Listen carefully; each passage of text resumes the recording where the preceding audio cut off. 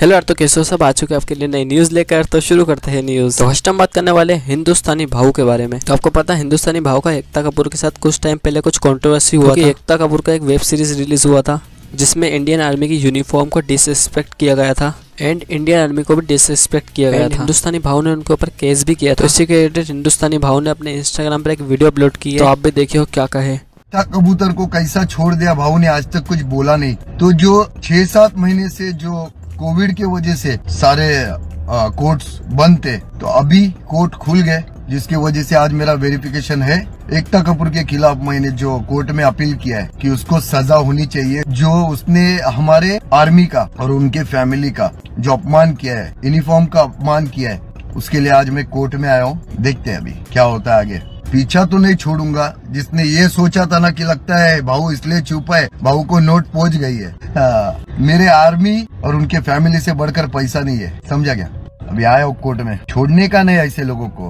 उनको क्या लगा? इनका पीछा छोड़ देंगे अपन। नहीं घसीटूँगा इसको पक्का घसीटूँगा कोर्ट में। कैसे नहीं आएगी? जो जो ऐसी हरकतें करेगा उनको ऐसे ही लेने का तो चलिए बात करते हैं नेक्स्ट न्यूज़ के बारे में। तो नेक्स्ट हम बात करने वाले हैं सौरभ जोशी व्लॉग्स के बारे में। तो मैंने आपको पहले की वीडियो में बताया था कि सौरभ जोशी व्लॉग ने एक वीडियो अपलोड किया था लेकिन यूट्यूब ने उस वीडियो को रिमूव कर यूट्यूब ने इसका रीजन दिया कम्युनिटी गाइडलाइन स्ट्राइक लेकिन सौरभ जोशी व्लॉग्स ने बताया कि उस वीडियो में ऐसा कुछ भी नहीं था जो यूट्यूब ने रिमूव करा उस वीडियो को। लेकिन अब सौरभ जोशी व्लॉग्स ने एक लेटेस्ट वीडियो अपलोड किया लेकिन उसको भी यूट्यूब ने रिमूव कर दिया। तो सौरभ जोशी इस बात से बहुत गुस्सा थे वो क्या कहे आप उनसे सुनिए।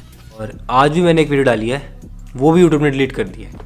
और आज वाली वीडियो में लिटरली कुछ था ही नहीं। छोटा सा व्लॉग था, मैं उठा, थोड़ी बहुत साफ़ सफ़ाई की और उसके बाद कुरियर लेके आया और उनको अनबॉक्स किया जो आप लोग गिफ्ट भेजते हो। और उसमें पीयूष का बैट निकला था। वही कंटेंट था कि पीयूष का बैट है, वो खुश हो गया और वो खेलने भी लग गया था। हम खेल भी रहे, थोड़ा बहुत और के साथ खेल रहे थे।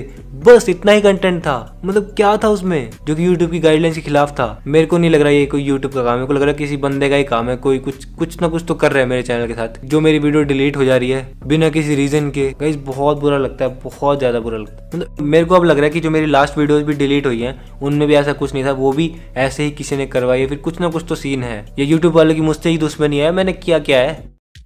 तो चलिए बात करते हैं नेक्स्ट न्यूज़ के बारे में। तो नेक्स्ट हम बात करने वाले कोस्मोपोलिटन ब्लॉगर 2020 के बारे तो इस शो में आपके favourite creator Ashish Chanchlani carry Minati और भी बहुत सारे क्रिएटर नॉमिनेट हुए हैं जिसमें आप अपने फेवरेट क्रिएटर को वोट कर सकते हो। बेसिकली ये दो कैटेगरी में है।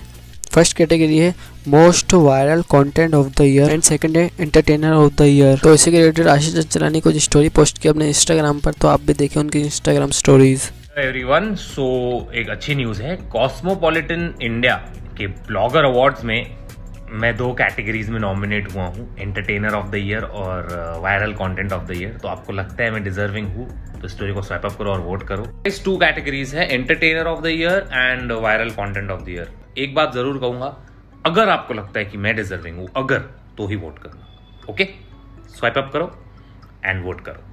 Thank you I love you तो गाइज़ मेरे कई सारे फ्रेंड्स भी नॉमिनेट हुए हैं, मेरे बहुत क्लोज फ्रेंड्स हैं, जो मेरे साथ ही नॉमिनेट हुए हैं लिस्ट में है और दूसरे लिस्ट में भी है। तो आप स्वाइप अप करके एक बार सारी कैटेगरीज चेक करना, उनको भी वोट कर देना और मेरे कैटेगरी में जो है मेरे फ्रेंड्स अगर वो डिजर्व करते तो उनको वोट चलिए बात करते हैं नेक्स्ट न्यूज़ के बारे में। तो नेक्स्ट टाइम बात करने वाले संदीप महेश्वरी के बारे में। तो संदीप महेश्वरी कुछ टाइम पहले एक वीडियो अपलोड किए। माई लास्ट व्लॉग बेसिकली इस वीडियो में अपना वो लास्ट व्लॉग दिखाए। लेकिन उनकी वीडियो का लास्ट व्लॉग क्यों था, आप उन्हीं से सुनिए। आज मैं अपना लास्ट ब्लॉग शूट करने वाला हूँ क्योंकि पहले ब्लॉग में मैंने आपको दिखाया था अपना ऑफ़िस स्पेस दूसरे में दिखाया था अपना सेटअप और आज मैं आपको दिखाने वाला हूँ अपना स्टूडियो इसके अलावा जो कुछ भी है वो मेरी प्राइवेट लाइफ है और वो शेयर करने में मेरा कोई इंटरेस्ट नहीं है। तो मेरा ये लास्ट व्लॉग आज यहीं पे खत्म होता है। लेकिन इसका मतलब ये नहीं है कि मैं आगे और वीडियोस नहीं बनाऊँगा मेरी वीडियोस अपलोड होती रहेंगी। बस व्लॉग्स में और अपलोड नहीं करूँगा क्योंकि जैसे कि मैंने आपको पहले ही कहा था कि और जो भी एस्पेक्ट्स है मेरी लाइफ के वो शेयर करने में मेरा कोई इंटरेस्ट नहीं तो बस यार वीडियो पसंद आई हो तो लाइक शेयर एंड सब्सक्राइब ज़रूर करके जाना। मिलते हैं अपने नेक्स्ट वीडियो में। तो गुड बाय